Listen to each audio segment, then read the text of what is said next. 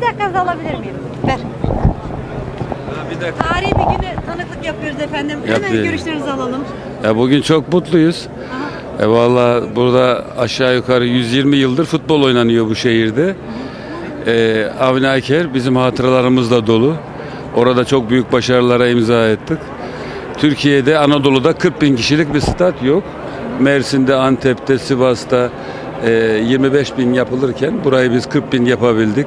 Başbakanımıza teşekkür ederiz. İnşallah burada Trabzonspor tesisleri de olur.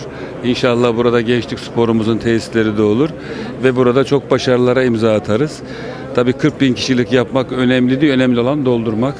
İnşallah burada UEFA finalleri olur, Dünya Kupası finalleri olur.